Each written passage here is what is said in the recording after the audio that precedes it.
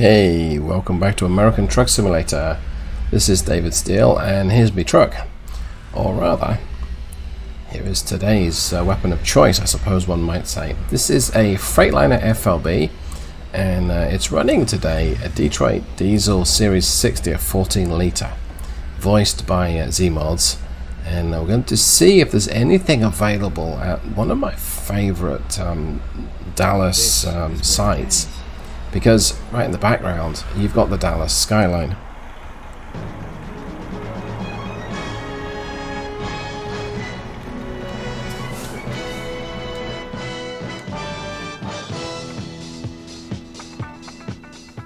Okay, I'm going to stop that.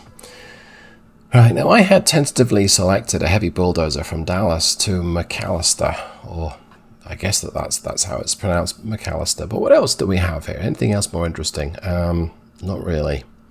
They're all about the same. I've got a Texarkana trip. If we want to, if we want to stick within Texas, uh, that's an urgent delivery. That might be a challenge um, for this load or this truck, but I'm up for a challenge.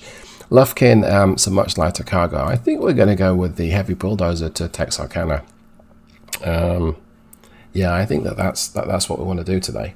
And why would, would that be a challenge? Well, I'm in a 550 horsepower Detroit diesel um, 14 litre, a Series 60 14 litre, which sounds great, but I'm in a, it's only got 1650 foot-pounds of torque. And uh, torque's what you need for a cargo like, like this. So let's go ahead and uh, try and get the thing going. There we go, okay. I'm probably going to use this transmission mostly in automated mode today. Now I do have a secret weapon. To explain, yes, I've only got 1650 foot-pounds of torque, but I do have a, a vocational um, ALL transmission. It's actually an 8-speed ALL. That little bit of jargon, uh, let's go ahead and get on the brakes here, I think.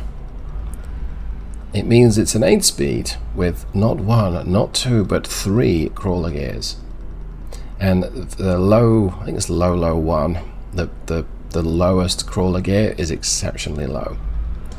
And that's what we really need. And that's what we're going to need. Uh, alright so I've got to get it I've got to maneuver this around there. This is going to be a challenge. In the ideal world I wouldn't be sharing this because I don't want to make a mess of it but I'm probably going to make a mess but hey it's not one of my videos if I don't mess something up right Let's go ahead and see if what happens if we pull it through here. Uh -huh. Switch to the external view. Yeah, I've not really got the the maneuver, the length, I suppose. I've still got a bit of bit of leeway there. I need as much length as I can to to try and point the the back of the trailer towards um, the collection point. So let's give this a whirl.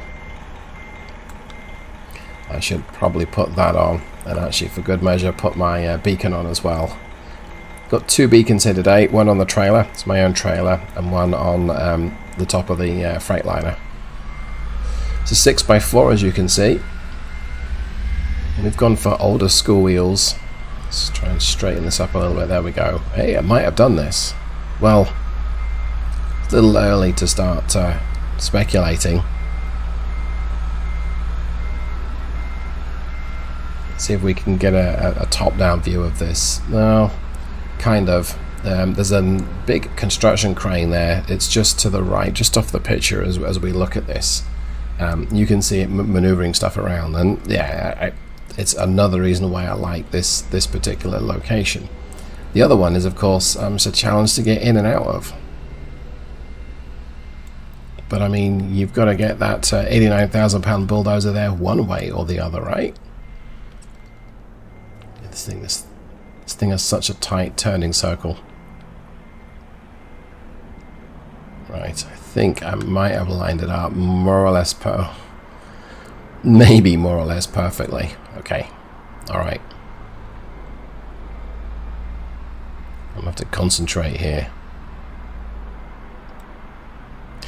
So the gearbox has a 355 final drive today, and um, I think it, it, it, sort of highlights some of the compromises that, that a transmission maker or a, an owner operator or um, hey, I'm in the spot. I'm close enough. Let's just switch to this view here, yeah.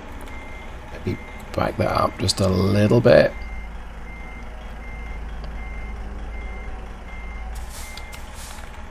I've no idea where the, um, the how the bulldozer is going to be getting on here. But that's not my issue.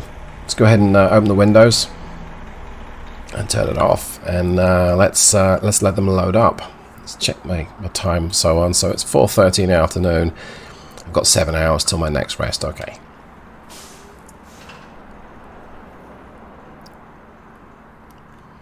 There we go. In 30 minutes, they magicked their bulldozer on. Let's go ahead and get this thing fired up. Okay, I'm going to need to um, make like a tree. Let's put my differential lock on. That's that. And um, the exit here is dead ahead.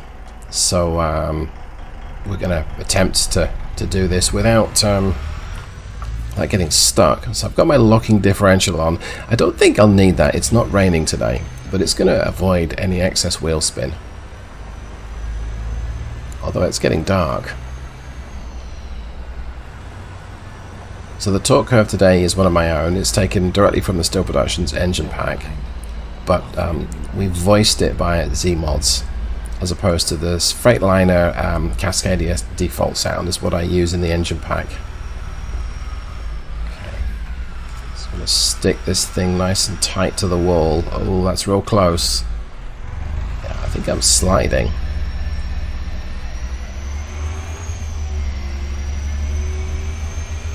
Okay, so we're gonna miss the wall here. How about the back? Is that gonna fit around the corner? Oh, it's close, but I think it's I think it's gonna go. Yes, okay. Alright, so the automatic transmission is not shifting up from low low one. Let's try and manually shift it. Yeah, it didn't like that. Okay. Just gonna let it climb it in low low one then. I suppose I could try and do it like that. Hey, almost did it. There we go. It's being more than a little brutal with uh, with the pedal, but uh, it, it did it.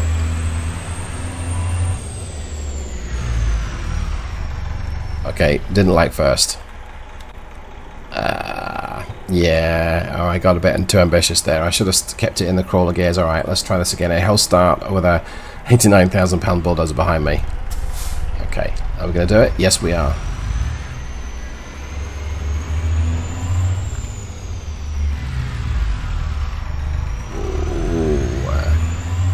Don't buy a used Detroit Diesel Series 40 that's found its home in a vocational truck. I'm feeling lucky. I'm going to try it in first. Yep, we did it. Okay. Didn't learn my lesson there, but um, didn't seem to matter as it happened. Oh yeah, and it's understeering. Look at that. Okay, let's put it back into automated mode and let's um, turn off the locking differential. I think it's just pushing me straight in, straight on. That's better. You need that little bit of wheel slippage to be able to um, guess, turn around corners. Okay, I'm going to go ahead and get my beacons on. Like so. Check my headlights are on. Yes, they are. Now, we have got uh, a long way to go and a short time to get there. Actually, we've got six hours. Uh, and we're not hauling beer. So this isn't quite Smokey and the Bandit. Plus, I'm in an FLB as opposed to was it a it was a Kenworth convoy had one that had the Mack in it, as I recall. Right. Yeah, I really enjoy uh, collecting cargo from there. It's a challenge to get things up and down. And I think that this 11-speed uh, box, or this 8-speed plus 3 crawlers, it sort of highlights um, like I say, one of the like the compromises that uh, that people have tried in terms of transmissions. I'm going to say that I stopped and just pull out in front of this this car. There we go. I think I have. Oh, I just bumped up the curb maybe a little bit. Right. Keep left. So why do I say that? Well, the reason being is um, that you have a, a, a dual for a dual H pattern. I'm going to negotiate this thing turning around. This could be a challenge.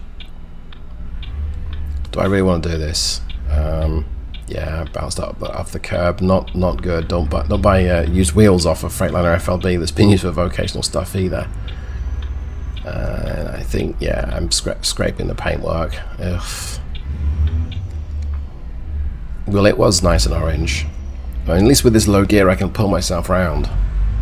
Okay. So I should have really taken um, the under the bridge route, but uh, we live and we learn. Someone's going to have to paint that, and I'm bouncing off the curb again. Is there a cleaner way of doing this? Oh, it's about as close as I can get. Right, straighten things up. Okay. Better attempt at this the second time. I've not changed the transmission to be high power mode which might help us, but we'll we'll give that a second. We'll just see how well it, it performs right now. Really want to get my point across about this this transmission. So it's a H pattern, and they've got higher and lower ranges. Great. So first to fourth, and then fifth to eighth. Fifth mirrors first in terms of the position of the gear lever. Plus, you've got those extra three crawler gears. Most of the time, you're only going to use first through eighth. But when you do need the crawlers, you've, you've got them. Without the complexity of um, or cost and possibly weight of an 18 speed. Would an 11 speed weigh that much less than an 18 speed? I don't actually know. Um, I could find that out. Uh, Booby um, Series 60 uh, right underneath me. Okay, so Texarkana going to be in the lane 2 after this red car will move out here. Yeah there we go. You're gonna let me in sunshine? Yep that car let me in. Did you see that? It most definitely let me in.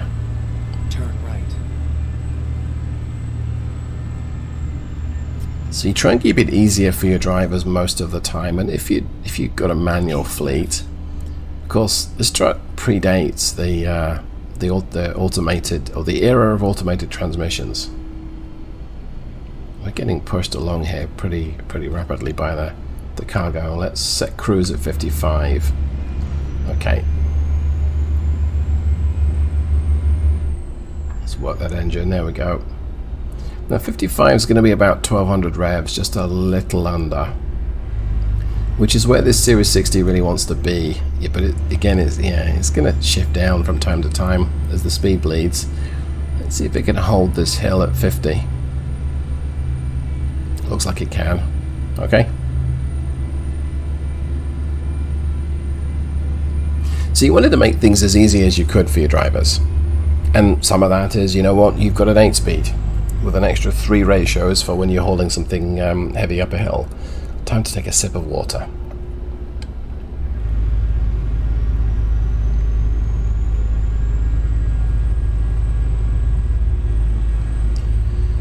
Okay been playing around with the FLB a lot and the different um, different options and specifications that you can go for. Um, vocational use, you might think that the 4x2 is, is an ideal choice, and in some ways it is. It's extremely maneuverable. Um, I really enjoy that about, about all of the cab over designs. That tight little turning circle.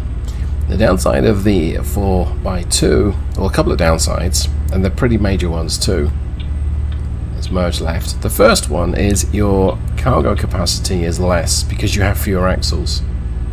So in Texas, as I recall, it's £22,000 for a dual axle. And I think it's 35 for a triple. Now, I'm not going to even attempt to explain because I don't fully understand how those axle weights work. But the long and short are, you can put more weight onto a 6x4. You can legally put more weight onto a 6x4. You've also got a bit more traction, you've got a bit more drag, uh, you've got a bit, bit more friction, but you've got more traction. In theory, you've got more traction, although sometimes you don't. It's all about the pressure on the on the tarmac from the from the tires.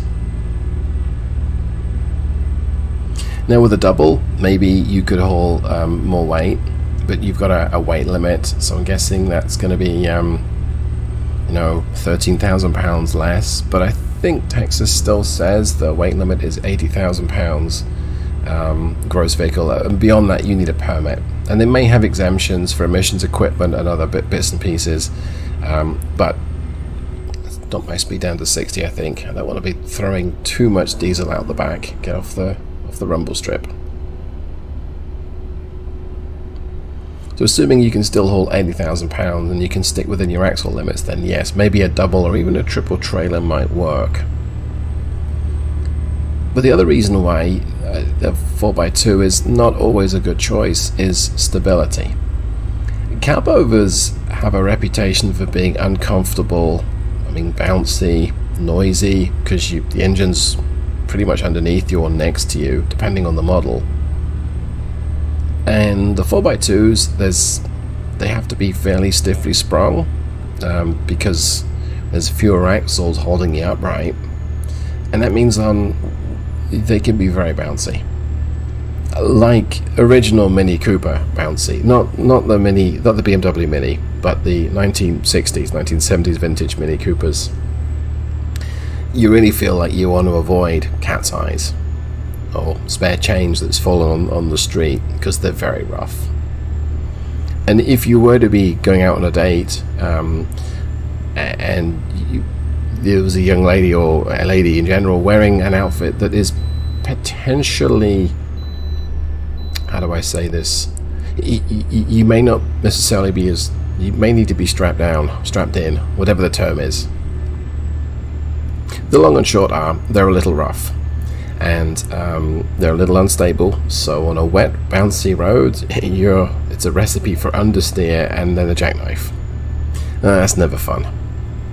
6x4s are a little more comfortable rattling away on my controller right underneath the microphone. They're a little more comfortable. Um, they're a lot more stable, and they uh, have better brakes because you've got one more tire, one more axle, four more tires, um, giving you braking effort. So far, this machine is really handling the weight aplomb. I mean, okay, it's losing speed going up a hill, but we're going to be early. Did not expect that. Let's knock my speed down to 55 and let's save a bit of fuel. Get off the rumble strip, David.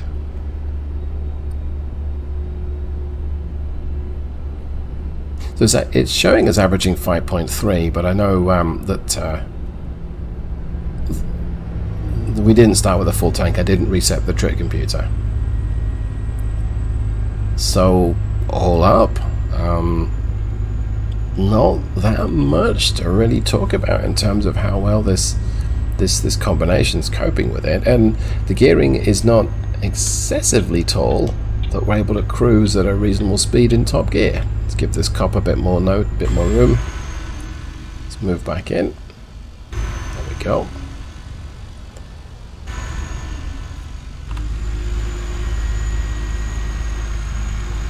pretty cool effect to have those beacons going I don't think you'd really be doing the oversized load into darkness. Um, I think that there's probably reasons why you shouldn't do that, like someone's going to run into you.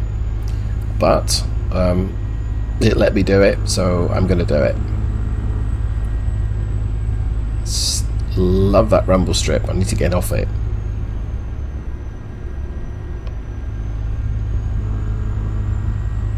Okay. This is the uh, Series 60 that Zeemods put into the Steam Workshop. It's free, um, and if you know the, the, the, definition file for it, you can uh, happily convert it or add it to your own engine packs. I'm gonna dip my headlights.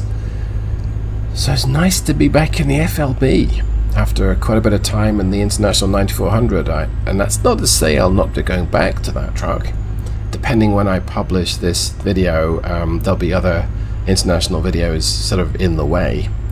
But yeah, there's been a lot of fun um, enjoying the older trucks, and so much so that I think Red Thunder's getting a little jealous, sitting in the in the garage or garage. So I'm trying to sound all American now. It, not really doing much. Well, there's a fix for that. Yeah, see, it just, just catches on 7 for just a little bit and then goes back into top. I'm surprised at how well this um, this engine transmission's working. I thought it might be a little tall for it, especially with an 89,000 pound heavy bulldozer chucked on the back. It's a lot of mass. I guess we haven't come up to any serious hills, so there is that.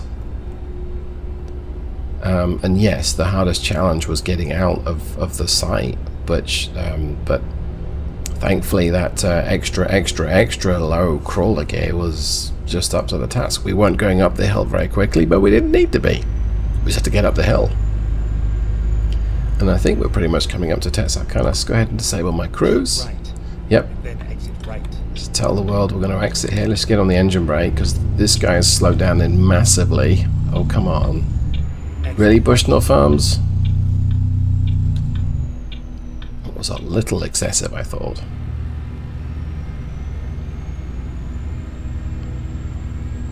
So you might think that uh, you wouldn't want to haul a particularly heavy cargo with only uh, 8, 10, 11 gears, or 9 I suppose. Well, actually, um, this isn't the most powerful Detroit Diesel Series 60 um, engine by quite a long shot. There are plenty of engines with more torque available. Um, there's even an 1850 foot-pound torque, in fact there are two, in the Series 60 family. Plus, this engine, this truck also came with the, uh, the 3406E. And there's a 435 horsepower with 1650 foot-pounds of torque. If you want more power, you've got to up to a 1750 or 1850 torque engine. So you just, you'd have to use a different gearbox. Let's get on my engine brake. Go straight. Yeah, I got my service brakes now. I'm trying to help it by downshifting and it's not it's not liking it. Keep left. Hey, look at that. That timing was perfect. Turn left. Gotta love that real tight turning circle. And it's even short shifting it because I'm being very gentle with the power. I'd say that that would be a bit of a success really. Look at that, you beauty.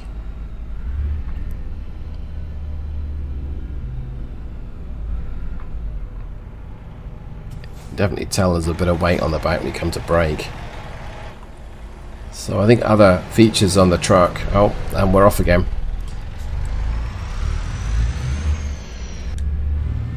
I'm using a Smarties wheel pack that's available on the workshop. I might be Jasper. Oh, using, I have both Jaspers and Smarties wheel pack installed, but Smarties has the uh, the 20 inch rims, which is what we uh, what I think I opted for today.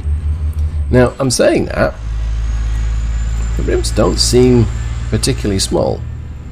Great big fat profile tires, and I am led to believe that the the smaller rims and the bigger tires give you a more flexible ride, and for vocational duties, in other words, plowing or plugging along in mud, you might want to drop the tire pressure, give you a bit more surface area, and that can help you in an off-road type circumstance. I also like the look of the of the rims. They're available in a 22 and a half inch, and I think a 24 and a half inch as well. In fact, there are lots of different, lots and lots of wheels available, along with lots of different tires. Taking this really wide. I think we may have mown the lawn, but I didn't see it in the mirror, so you didn't see either. Result. I'm not going to be doing the difficult parking uh, in this. It's 10 o'clock at night in the game. I'm going to suppose my driver just wants to go to a bar and have some tequila. Or um, just re retire. Probably wouldn't have tequila to be fair. I think it's a Friday evening. Let's check. It's Thursday night, and I guess you're going to stop. Thank you. Okay, so he's got one more day left in his week. Right, and yep, and there we go. Um, he his shift is over by I think midnight tonight. Finally, so, yep, we're finally here. Okay, so I'm going to go ahead and uh, check in um, with uh, with the desk here, and um, I think I'm going to call it for this this video. So thanks ever so much for watching. Hope you enjoyed it. That was a bit of uh, heavy duty um, hauling in an FLB that's configured more or less for vocational duties. Thanks so much for watching everyone. I'll see you in the next one. Goodbye.